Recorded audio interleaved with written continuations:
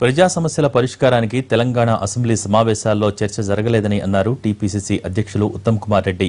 రైతాంగ సమస్యలు fee reimbursement double bedroom ఇళ్ళు నిరుద్యోగులు ఇలా ఏ అంశంపైనా సభ సజావుగా జరగలేదని అన్నారు.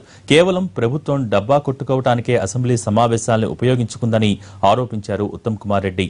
రైతులకు రుణమాఫీ చేసినా వడ్డీ భారం అలాగే ఉందని దీనికి సంబంధించి ఆయా బ్యాంకుల స్టేట్మెంట్లు ఉన్నాయని అన్నారు.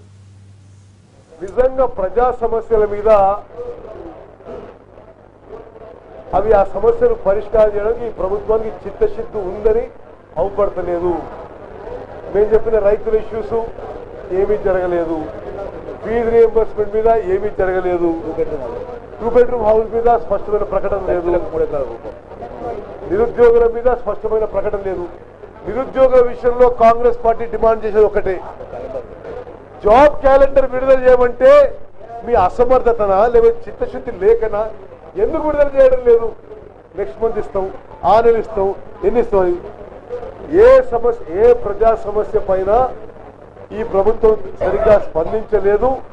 కేవలం ప్రభుత్వ డబ్బాలు కొట్టుకోవడానికి మాత్రం ప్రొపగాండా కోసం అసెంబ్లీని వాడుకుంటున్నారు. వాళ్ళు గంటలు గంటలు మాట్లాడుకోవడం మాకేమో నిమిషాల మీద టైం ఇవ్వడం. State bank of India lead manager V V Shastri garu ఇచ్చిన లెటరు స్టేట్ బ్యాంక్ ఆఫ్ ఇండియాలోనే వాళ్ళు ఇచ్చిన అంచనాల మేరకు రాష్ట్ర వ్యాప్తంగా ఇంట్రెస్ట్ ఫోర్ ఇంట్రెస్ట్ అప్రాక్సిమేట్గా తొమ్మిది వందల ఎనభై నాలుగు కోట్లు. ఇది లీడ్ బ్యాంక్ లెటరు అది కూడా ఇస్తున్నాం. అదే విధంగా కోఆపరేటివ్ బ్యాంక్స్ వల్ల వేరే ఉంది. వేరే బ్యాంక్స్ ఉంది అవన్నీ కూడా ఇస్తున్నాం వాళ్ళకి.